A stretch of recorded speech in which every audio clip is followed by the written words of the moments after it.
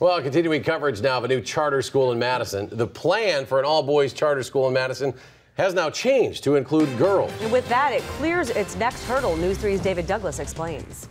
Yeah, the state had held back on awarding a planning grant, Sarah and Eric, over legal concerns of a single-sex school. Now with a new plan for a girls' campus in the Urban League back school's first year, the Madison School Board said tonight, okay, and the state will now likely award the money.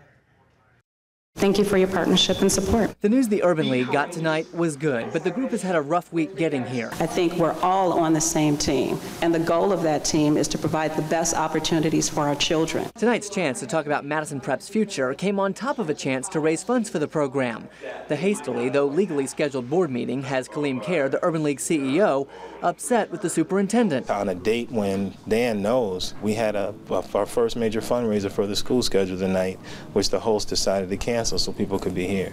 So does that sound fair? But he's not the only one unhappy. TJ Mertz, an education activist, says he was told to leave an Urban League meeting last night set to discuss education issues for African American students because he was a blogger. There were people in there who publish magazines, who keep blogs, who were allowed to stay. Caire says they'd hoped to allow a free environment for discussion, but didn't make the right decision. So we really put ourselves out there on that one to make a judgment call on something. We know we never done that before.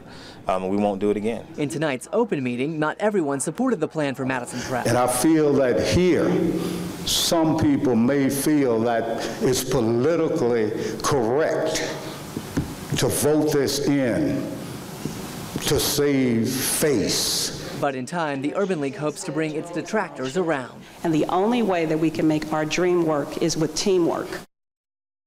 There are still many unresolved issues, including the school's budget. The cost to add a girls' campus could nearly double the money needed to launch the school, perhaps pushing the price tag toward $10 million. Final approval, rather, is pending, though the league does hope to begin class next fall. All right, thanks so much, David.